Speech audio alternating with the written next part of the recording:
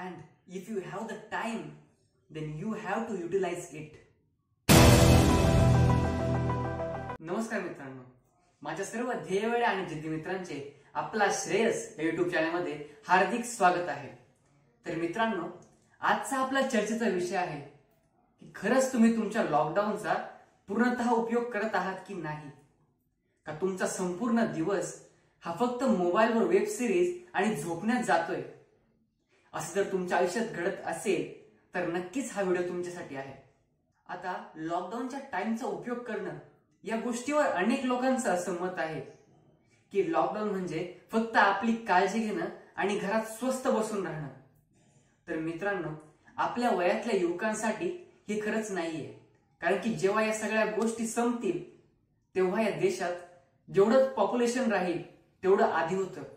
आणि ती स्पर्धा ती रॅट रेस ही सगळ्यांसाठी सारखीच राहणार आहे.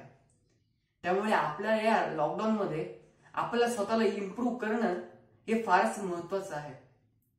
And if you have the time then you have to utilise it कारण की या स्पर्धेत जर तुम्हाला टिकायचं असेल तर नक्कीच तुम्हाला या टाइमचा सदुपयोग करावाच लागेल.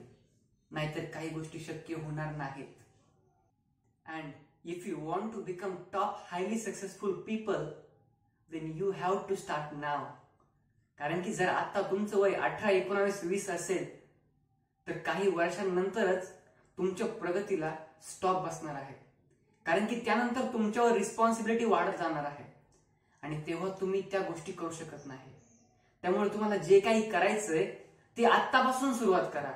आणि हीच ती वेळ आहे स्टार्ट करण्यासाठी. जरी लॉकडाऊनमुळे अनेक गोष्टी बंद असतील तर तुम्हाला सेल्फ अनालिसिस ही गोष्ट ही फक्त लॉकडाऊन मध्येच करता येणार आहे. जेवढा वेळ तुम्ही तुमच्या सेल्फ अनालिसिसवर द्या तेवढं तुमच्यासाठी चांगलं राहणार आहे. सेल्फ अनालिसिस काय आहे? सेल्फ अनालिसिस म्हणजे स्वतःला समजून घ्या. अशा कोणत्या गोष्टी आहेत त्यामध्ये तुम्ही टॉप आहात. कोणत्या गोष्टी तुम्हाला चांगल्या पद्धतीने जमतात कोणत्या गोष्टींमध्ये तुम्ही कमी पडत आहात त्या गोष्टी जाणून घ्या आणि त्याच्यावर काम करायला सुरुवात करा. आणि हीच ती वेळ आहे. जर या वेळेचा तुम्ही सदुपयोग केला तर नक्कीच तुम्हाला याचा फायदा होणार आहे. ज्याप्रमाणे तुम्ही तुमच्या बॉडीची म्हणजे फिजिकल स्ट्रेंथ मेंटेन करता त्याचप्रमाणे या काळात तुमच्या मेंटल स्ट्रेंथवर भर द्या. कारण की हे सध्या असं काही चालू आहे. यामुळे यामध्ये तुम्हाला ज्याप्रमाणे तुम्ही फिजिकली स्ट्रॉंग आहात त्याप्रमाणे त्यापेक्षाही जास्त तुम्हाला मेंटली स्ट्रॉंग राहण्याची गरज आहे. या काळात अनेक जणांना असं होतंय चिडचिड होते कोणत्याही गोष्टीत मन लागत नाहीये. तर नक्कीच तुमच्या मेंटल स्ट्रेंथवर भर द्या. जेवढं तुम्ही मेंटल स्ट्रेंथवर भर देताल तेवढं जास्त तुमच्या फिजिकल स्ट्रेंथमध्ये भर पडणार आहे. त्यामुळे मेंटल स्ट्रेंथवर भर द्या. And you have to aware about the competition of world for sustaining that competition you have to start now stay healthy and stay safe.